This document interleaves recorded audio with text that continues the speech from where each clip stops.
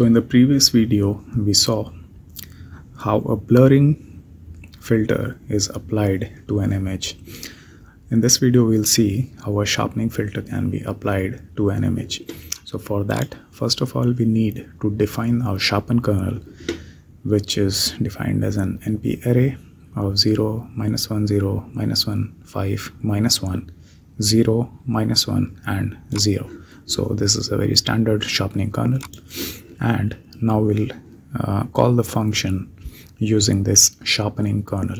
So we'll write the variable sharp image is equal to convolute image. That is we'll call the function. We pass it the image i.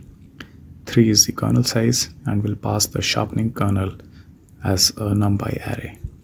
And we'll keep the stride as 1 so let us run and see what is the effect of this function so as you can see this is the output image in which we can see that the image appears to be more sharper.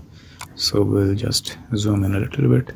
And when we compare it with the original image we can see that this image the output image appears more sharper than the original image.